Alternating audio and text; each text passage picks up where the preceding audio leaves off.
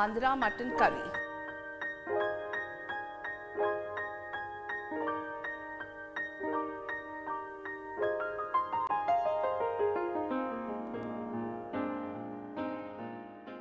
Hi, welcome to Sanjeev Kapoor Khazana. I'm Rupa here. Let's do a mutton preparation called as Andhra mutton curry. Let's go ahead and look at the ingredients. We have 500 grams of mutton, a tablespoon of ginger garlic paste, 4 to 5 curry leaves, an inch of cinnamon, 3 onions chopped finely, 2 tomatoes chopped finely. Then we have cumin seeds 1 teaspoon, fennel seeds 1 teaspoon, a teaspoon of chili powder, 4 to 5 peppercorns, 3 to 4 green cardamom, about half a teaspoon of coarsely ground pepper powder, 2 tablespoon of poppy seeds, a teaspoon of coriander seeds, half a teaspoon turmeric powder, some fresh coriander chopped, salt to taste, oil for cooking. So what we do first is uh, we have to go through almost three stages of cooking. So take the mutton. Okay, so add some salt for seasoning and add the turmeric powder. Mix it and leave it for about 5 minutes. The mutton is marinating for about 5 minutes. You really don't require to marinate much. And we're going to just pressure cook it till it's half done. So just put the mutton in the pressure cooker, add about a cup of water and just pressure cook it till it's half done. That is, let the first whistle blow, then simmer it and keep for about 5 to 8 minutes. The mutton is simmering for about uh, 8 to 10 minutes till it's half done. Till then we'll dry roast the spices.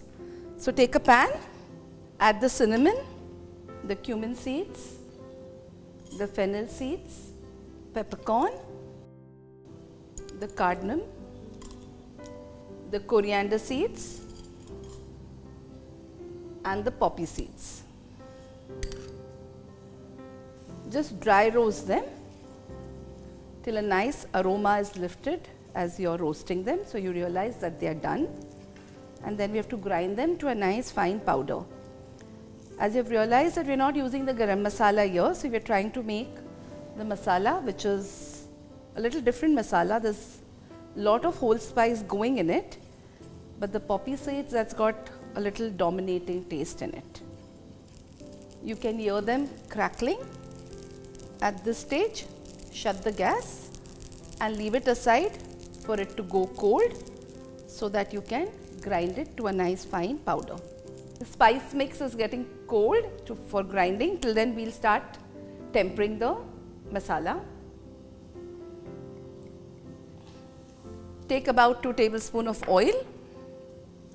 Let it go hot. Add the curry leaves. Add the onions and saute for about 2 to 3 minutes. Add the tomatoes and saute for about 2 to 3 minutes till the moisture is given out. Till then we will grind the spice, the dry roasted ones that we have roasted and kept aside. We will grind it to a nice fine powder. Till the onions and the tomatoes are going soft, let's grind this, the roasted spice that we have kept aside for cooling.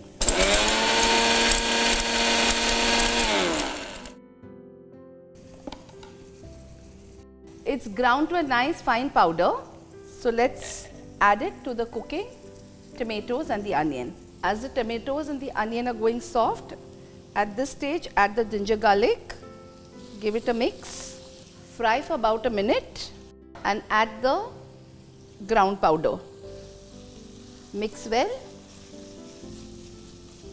A nice aroma is lifted and just cook it for a minute or so till the oil separates from the side and you can smell the masala getting cooked.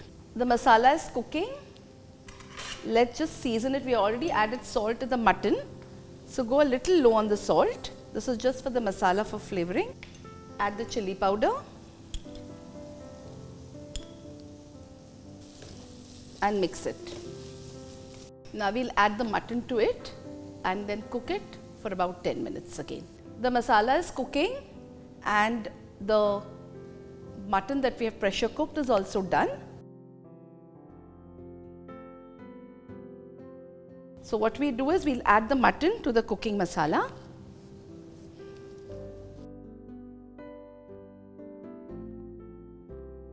The mutton is added to the cooking masala of the tomatoes and the onion.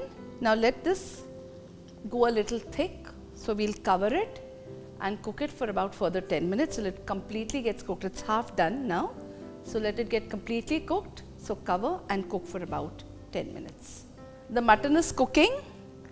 The gravy is nicely gone dry. Let's add some coarsely crushed pepper powder and some coriander. Give it a mix and take it out for serving.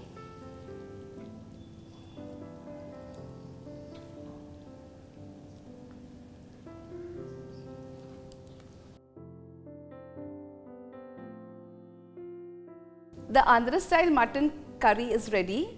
It's a very flavorful recipe and I'm sure you will try it and have it with the paratha or steamed rice.